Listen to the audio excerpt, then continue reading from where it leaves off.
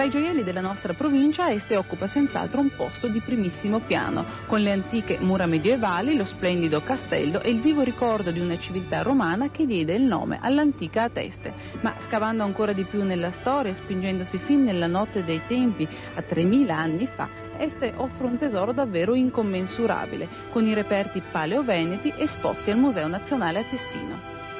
Ospitata tra le possenti mura del castello, l'eccezionale esposizione, aperta tutti i giorni dalle 9 alle 19, offre all'interesse del visitatore 3.000 reperti, a cui se ne devono aggiungere altri 7.000 archiviati e schedati nei magazzini.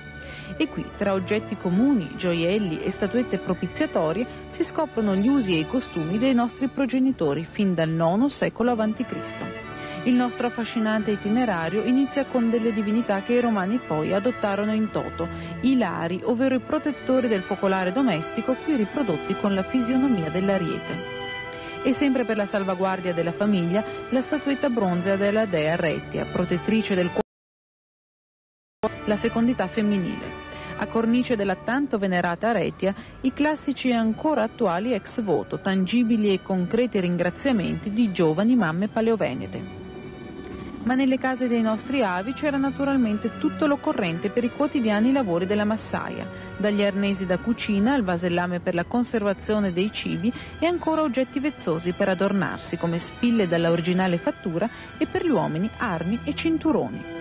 Come tutte le civiltà antiche, i paleoveneti avevano sviluppato un complesso culto della estrema dimora. All'interno delle tombe, che si possono ammirare al Museo Atestino, erano disposti interi corredi funebri. Gli oggetti tombali dovevano accompagnare il lungo viaggio senza ritorno dei defunti per tenere loro compagnia e farli sentire ancora a casa. Tra gli attrezzi di falegnami e cavalieri spicca al centro della sala principale il giocattolo di una bimba che i genitori non volevano lasciare nell'aldilà senza il suo passatempo preferito. La vita quotidiana è ancora il principale argomento delle incisioni bronze della Situla Benvenuti, uno dei meglio conservati ossuari paleoveneti.